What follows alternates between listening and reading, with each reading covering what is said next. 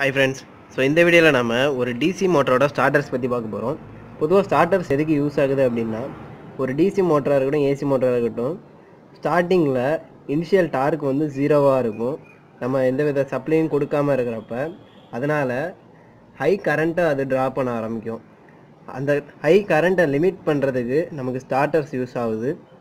இப்போ இங்கே இருக்கிறது ஹேண்டிலு இப்போ நம்ம பார்த்துக்கிட்டு இருக்கிறது ஒரு ஃபோர் பாயிண்ட் டிசி ஸ்டார்டரு இது ஏன் ஃபோர் பாயிண்ட் ஸ்டார்டர் அப்படின்னு நம்ம சொல்கிறோன்னா இல்லை லயனு நியூட்ரல் ஃபீல்டு ஆர்மேச்சர் அப்படின்னு நாலு டெர்மினல்ஸ் இருக்கிறதுனால இதை ஃபோர் பாயிண்ட் ஸ்டார்டர் அப்படின்னு நம்ம சொல்கிறோம் இதே த்ரீ பாயிண்ட் ஸ்டார்டர் பார்த்தீங்கன்னா லயனு ஃபீல்டு ஆர்மேச்சர் இது மூணு மட்டும்தான் இருக்கும். டூ பாயிண்ட் ஸ்டார்டரில் லயனும் ஃபீல்டு மட்டும்தான் இருக்கும். நியூட்ரல் ஆர்மேச்சர் ரெண்டுமே இருக்காது.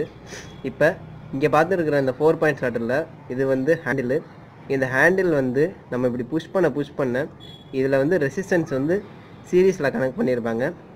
தள்ள தள்ள ரெசிஸ்டன்ஸ் வந்து நமக்கு கம்மியாகிக்கிட்டே போகும்.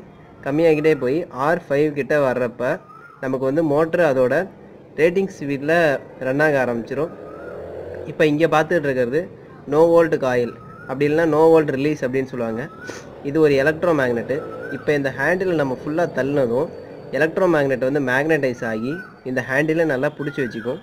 ஒருவேளை இப்போ கரண்ட் வந்து திடீர்னு ஆஃப் ஆகிடுச்சு அப்படின்னா நம்ம திடீர்னு சப்ளை வோல்டேஜை நிப்பாட்டிட்டோம் அப்படின்னா இந்த நோ வோல்ட்டு காயில் வந்து டிமேக்னடைஸ் ஆகி ஹேண்டில் திரும்பவும் பழைய பொசிஷனுக்கு வந்துடும் இங்கே இருக்கிற ஸ்ப்ரிங்கோட உதவினால். இப்போ இதே ஒருவேளை ஹை கரண்ட்டு உள்ளார என்டர் ஆகுது அப்படின்னா ஹை கரண்ட் என்டர் ஆனிச்சு அப்படின்னா இங்கே இருக்கிற ஹை வோல்ட் ரிலீஸ் அதாவது ஓவர்லோட் ரிலீஸ் அப்படின்னு சொல்லலாம். இந்த மேக்னெட் வந்து மேக்னடைஸ் ஆக ஆரம்பிச்சிடும் ஹை கரண்ட்டு உள்ளார வரப்போ அப்படி மேக்னடைஸ் ஆகிறப்ப இங்கே ட்ரையாங்குலர் அயன் பீஸ் ஒன்று இருக்கும். இங்கே இருக்கிற ஒரு அயன் பீஸை வந்து இதை அட்ராக்ட் பண்ண ஆரம்பிக்கும்.